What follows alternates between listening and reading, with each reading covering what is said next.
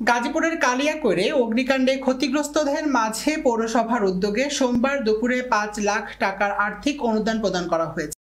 আর্থিক অনুদান প্রদানকালে উপস্থিত ছিলেন কালিয়াকৈর পৌরসভার mayor Mohammad Mojibur Rahman, panel mayor Shamsul Alam Sarkar, মহিলা সংরক্ষিত আসনের কাউন্সিলর হাজেরা খাতুন, পৌরসভার প্রশাসনিক কর্মকর্তা জাহিদ হাসান, স্থানীয় সমাজসেবক শাহাদাত হোসেন খান, সোহেল সরকার, বাদশাহ সরকার সহ আরও অনেকেই। ক্ষতিগ্রস্ত ছাপ্পান্নটি ঘরের মালিক প্রতিজনকে দশ হাজার টাকা ও ভাড়াটিয়া কক্ষের মালিককে পাঁচ হাজার টাকা করে অনুদান প্রদান করে। পৌরসভার সূত্র জানায়, কালিয়াকৈর পৌরসভা আওতাধীন রেশমিরটেক এলাকার এগারোটি কক্ষ, এপেক্রো এলাকার একুশটি কক্ষ, কালামপুর পাঁচ লক্ষী এলাকার পাঁচটি কক্ষ ও শফিপুর বাজারের একুশটি কক্ষ অগ্নিকাণ্ডে ক্ষতিগ্রস্ত হয়।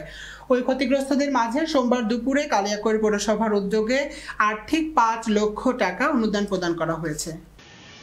সুতরাং আমার ফেসবুক আজকে দেখেন পৌরসভা আমরা বলেছি অপ্রয়োজনে ঘরের বাইরে যাবেন না। এটা মেয়র অনুরোধ করেছে কোন